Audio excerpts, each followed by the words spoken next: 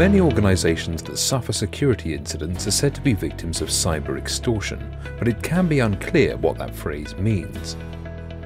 Put simply, cyber extortion is an umbrella term for a variety of cybercrimes in which criminal hackers force victims to do something after compromising their systems.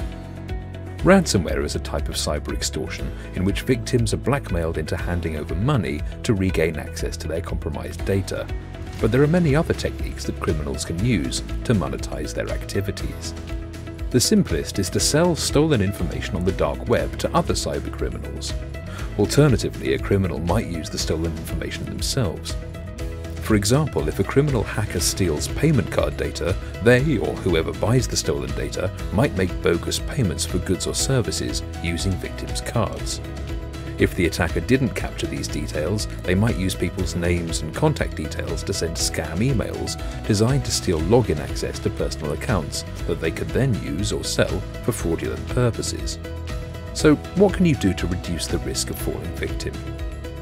A robust information security management system is an essential start, where an assortment of technical defences such as threat detection and data encryption is complemented with staff awareness training to help employees avoid costly mistakes.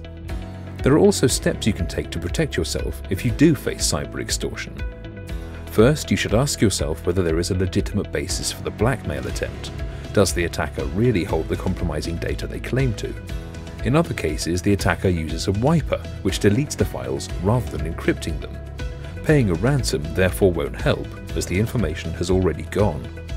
When it comes to traditional ransomware, preparation is your best defense. This means creating offline backups of your sensitive data and ensuring that they're regularly updated. Another essential defense mechanism is staff awareness training. Ransomware often makes its way onto organizations' systems via phishing emails.